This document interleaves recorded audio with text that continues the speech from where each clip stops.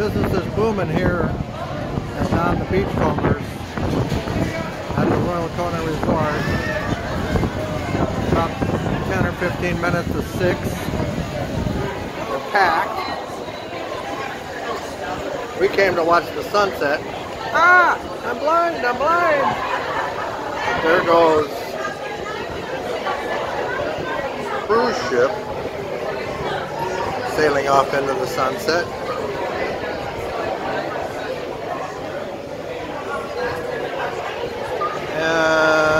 know if you can hear me, but over there is the Kailua Pier, Dead Cam Hotel.